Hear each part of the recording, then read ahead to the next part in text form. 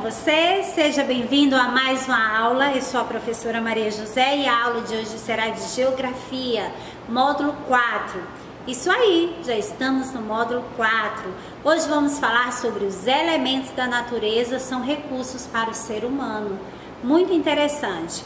Muitos elementos da natureza são utilizados pelo ser humano como os recursos para desenvolver atividades econômicas e atender às suas necessidades.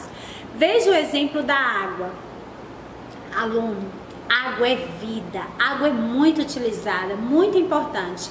A água é um importante recurso da natureza utilizado para diferentes finalidades.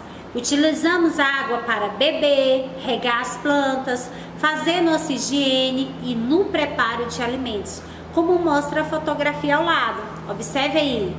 Isso, utilizando a água para a produção de alimentos.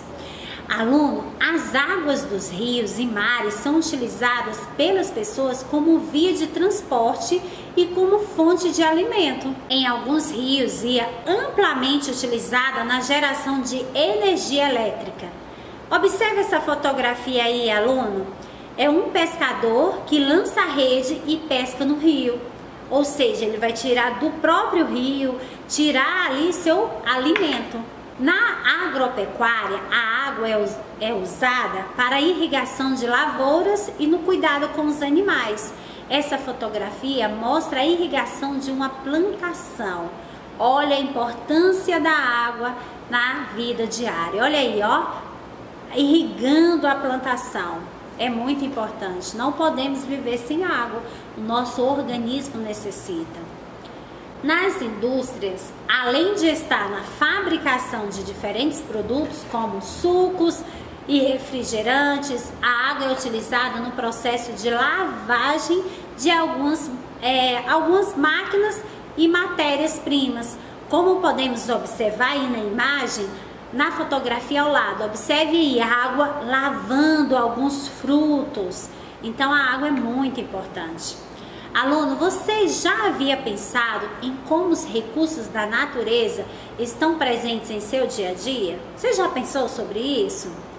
Por exemplo, o recurso natural solo, a utilização dele pode ser utilizado na produção de tijolos e produtos de cerâmica, como canecas, tigelas e pratos.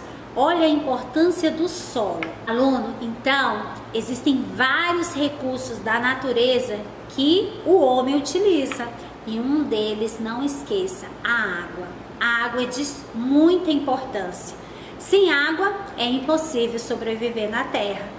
Utilizamos água para beber, para alimento, para higiene. Então, a água tem um papel fundamental na sobrevivência da vida do ser humano, certo?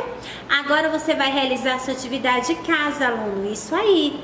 Em seu livro, módulo 4, você vai responder os exercícios das páginas 276 e 277. Combinado? Faça com muito capricho. Chegamos ao final da nossa aula. Muito obrigado pela sua presença.